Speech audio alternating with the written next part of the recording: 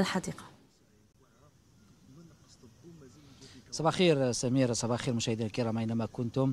بالفعل متواجدون هنا بحديقة التجارب بالحامه هذه الحديقة المتواجدة على الطبيعة وعلى مساحة 32 هكتار التي تتنوع بتنوع بيئي ونباتي كبير وكبير جدا مما يجعلها من أجمل الحدائق في العالم. ربما هذه الحديقة سمير تعرضت لحريق ليلة أمس على مساحة تقريبية ب 400 متر. لتفاصيل أكثر يحضر معي الملازم كريم بن فحصي المكلف بالإعلام بالمديرية العامة للحماية المدنية. صباح الخير سيدي. ربما سيدي نحن متواجدون هنا بحديقة الحامة هذه الحديقة المتميزة تعرضت لحريق.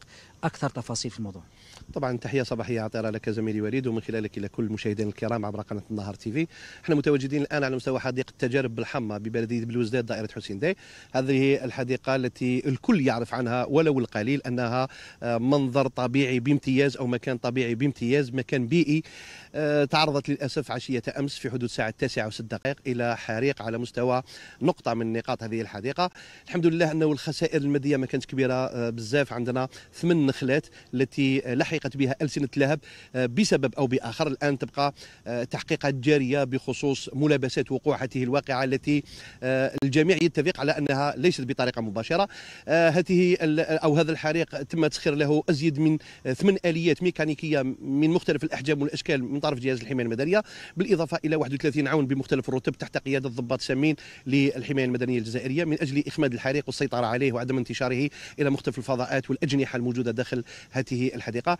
آه نقول أنه آه خسرنا ثمان نخلات وخسرنا بعض الحشائش التي تستعمل للتدوير آه بخصوص الاستفادة من الأسمدة وغير ذلك. أحسن من أنه مشات ربما إلى أشجار أخرى وربما أشجار ذات طابع أو ذات قيمة تاريخية ولا غير ذلك.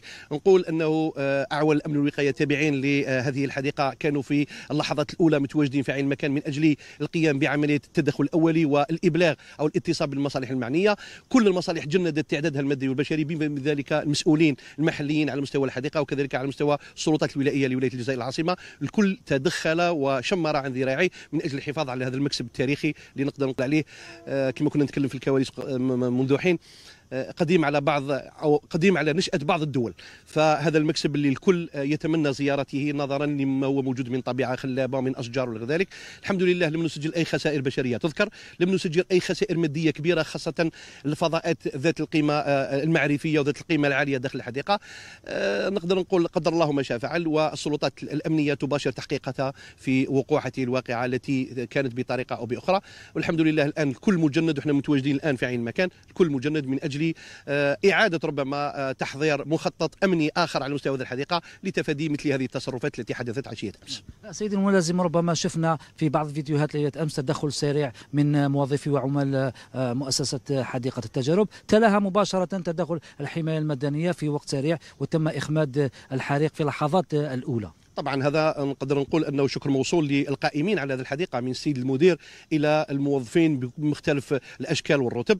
وهذا هذا الإجراءات اللي قامت بها فرق التدخل الأولي لا دليل قاطع على الجاهزية والاستعداد لكل أعوان الأمن والوقاية. طبعا وفق مخطط أمني محضر مسبقا على مستوى هذه الحديقة بالإضافة إلى إمكانيات الحماية المدنية وكل الشركاء والفاعلين الذين هبوا هبة واحدة مستغلين سرعة الوقت لأنه الوقت ما يسمحلناش. كل الظروف تساعد على الانتشار السريع لألسنة الهب وإحنا من هذا المنبر نقدم خالص التهاني وخالص الشكر وخالص التقدير إلى كل المتدخلين من أعوان الأمن والوقاية وكل القائمين على هذه الحديقة. بما في ذلك زملائي المتدخلين من مختلف الرتب اللي كانوا وبقاو هنا إلى وقت متأخر من الليل من أجل إخماد الحريق كليا والسيطرة عليه وعدم انتشاره إلى الأماكن نقول الأماكن البيئية التاريخية اللي راهي موجودة في هذه الحديقة. سيدي الملازم كوننا متواجدين هنا في حديقة الحامة العديد من الزوار يتوافدون إلى هذه الحديقة. ربما لو نقدم لهم نصيحة من أجل الحفاظ على هذا الإرث الطبيعي أو هذه التحفة الطبيعية.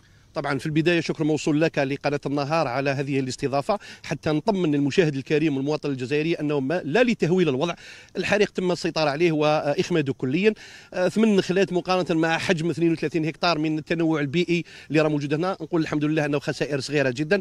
نقول للمشاهد الكريم والمواطن الكريم هلموا إلى السياحة البيئية وإلى حديقة الحمى هلموا للاستمتاع بما تبقى من عطله صيفيه في مختلف شواطئ الجزائر والمنتجعات الغابية هلموا من أجل أن نحافظ على المكان ونتركه أفضل مما كان.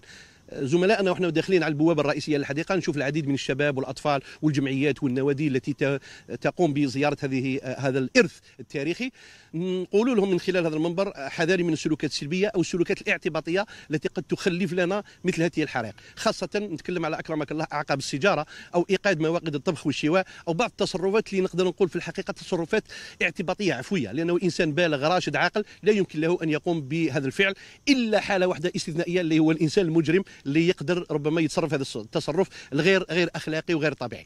المواطنين وكل أبناء الجزائر وبنات الجزائر من كل ربوع الوطن نهنيهم بهذا الإرث التاريخي ونقول لهم هلموا للاستمتاع بما يتمتع به هذا ال 32 هكتار ونقول لهم تصرفوا بسلوك إيجابي وأتركوا المكان عند مغادرتكم أفضل من مكان شكرا جزيلا سيدي الملازم. إذا هذا ما لدينا سميرة. شكرا لك وليد مهاجري وشكرا أيضا للملازم كريم بن فحصي. مشاهدينا نواصل الآن هذا الموعد.